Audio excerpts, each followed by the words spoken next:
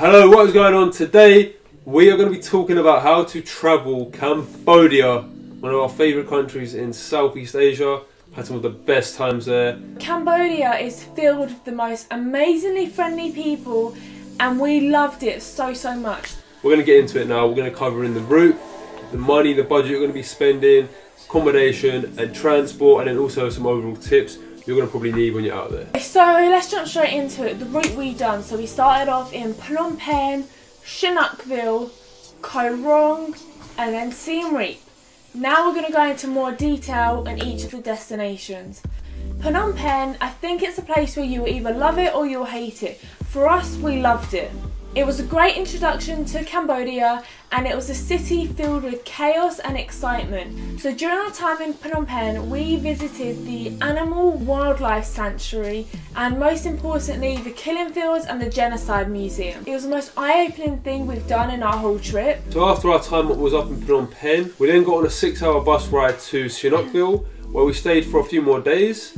In Sihanoukville it was very chilled out, a lot of beaches, and we spent our days pretty much chilling out on the beaches, watching, watching the, the sunsets. the main reason we went to Sihanoukville was because we were going to the island named Koh Rong. We went to the Lonely Beach, which is much more secluded. There was only 14 bungalows on the island, I believe. Yeah, there was 14 bungalows, crystal clear seas. Um, it's something that you probably haven't experienced before. So electricity cuts out at a certain yeah. time. You have to shower there's in only a bucket. One, there's only one plug on the whole island, so you couldn't charge your phones up no internet, anything like anything. that. No lights, so you just have to have a torch. So if you're going to be going to Cambodia, go to Lonely Beach in Koh Rong. It's one of the most amazing experiences of our life. We did spend our seven year anniversary in Koh Rong, so if you want to watch the full video, then it, the link is in the description. So last stop was Siem Reap. This is the main hub of tourism. This was a great way to say goodbye to Cambodia and it was completely different to Phnom Penh. In Siem Reap, we didn't actually go to Angkor Wat, believe it or not. Everyone says you have to go. Wasn't our thing. But however, in Siem Reap, we did shoot guns. We got some AK-47s out, and best of all, we got to experience a Khmer New Year. The party on the street was insane. There was like massive water fights, powder getting thrown everywhere. If you are going to be going to Cambodia, aim to be there for the dates of the Khmer New Year, and you'll have the most amazing time of your life. And another thing about Cambodia is they have these places called ecstatic pizza, and basically it's just pizza with weed on it and yeah, if you want to get high, basically eat a pizza and you'll be pretty high. We did actually do it and it was a great time. Um, if you want to go for it, I'd say do it. So that was our route for Cambodia. There is a lot more you can see there. However, we done sort of longer periods in each destination, so we, our time was up. Um, however, Cambodia, beautiful place. So next up, we are going to be talking about the money slash budget. So Cambodia was probably the most expensive country out of the whole of Southeast Asia and this is due to everything being in dollars. So our budget was £35 each per day which is pretty reasonable, but I think you could do it on £25 a day. So for the accommodation, it's still very cheap there. We had a budget of £20 a night, so £10 each. There are many more cheaper places you can stay at, maybe five, six pounds. So don't think you have to spend £20 a night, you can get it very cheap. You'll be able to find street food one to two dollars. I wasn't that much of a fan of Cambodian food, so we went to restaurants most of the time. A typical meal at a restaurant will cost you around four to five dollars, so you can see how your bill will rank up if you eat at restaurants all the time. I think food will probably be your biggest expense in Cambodia. So getting around Cambodia, be prepared for long, long bus rides and coach journeys. They're very cheap though, don't worry, they're about five to ten dollars, easy to book and you can book for your hotels, local little travel agents. Two of the most popular companies used in Cambodia are Mekong Express and Ibis. Both are really comfortable yeah. rides. They've got aircon, they give you free water, pick you up from your hotel. And one tip I'm going to say for the coach journey, don't try and be smart like me and Mia and sit at the back of the coach because the engine gets hot and after after like two three hours of the engine constantly you on, you will roast. you will literally roast with a 40 degree heat as well. You're gonna melt at the back of the bus. So when you're getting around your local town in Cambodia, the most common use is tuk tuks and mopeds. However, we didn't take them out. With tuk tuks, they're really friendly, the drivers, yeah. and they're always going to try and get more dollars out of you. Always. But always split it in half and just bargain. But you'll have fun on tuk tuks. They are the best way to get around. So now we're just going to give you some overall tips on which we think are going to come in handy when you travel around Cambodia and also just Asia in general. So tip number one, if you are going to be getting in tuk tuks, you know you're roughly going, ask your hotel before you get in it and say how much is it roughly going to be. They'll give you a price and then you can work with that with the tuk tuk driver. Tip number two drinks in Cambodia are actually really expensive. A bottle of water is one dollar. That could rank up your bill. The food and drinks in supermarkets are really, really expensive.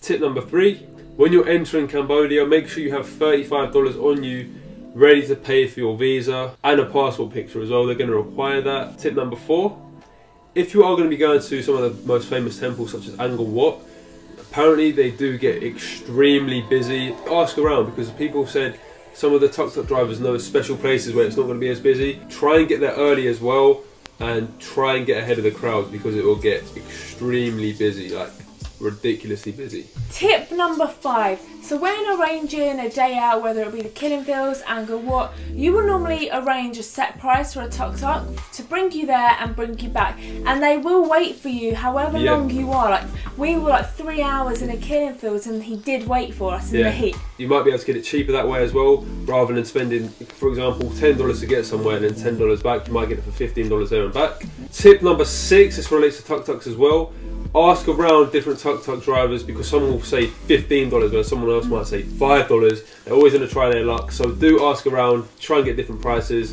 especially when going to destinations such as Angkor Wat or shooting guns. Tip number seven. When withdrawing money at the ATM machines, it is really expensive. I think it was like $4 per transaction. So take out a week's worth of money to decrease your fees. Tip number eight.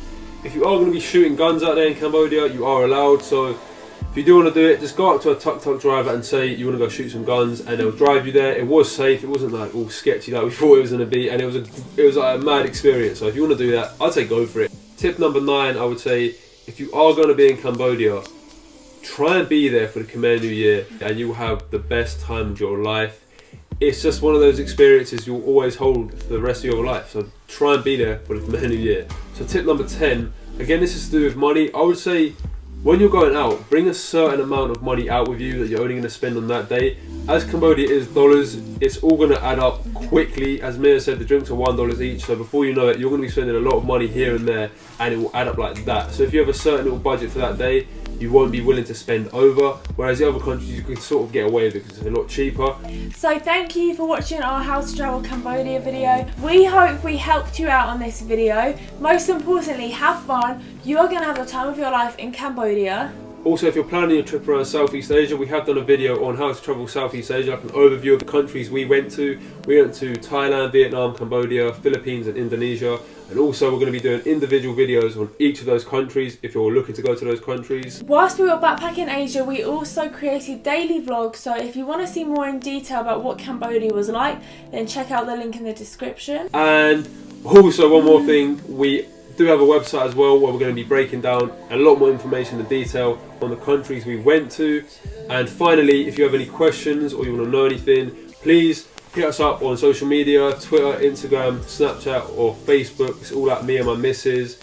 Or just comment below and we'll be willing to help you. Thank you for watching. Thank you for watching. We hope you have a sick time in Cambodia. You're going to love it. We're going to be jealous, so have a great time.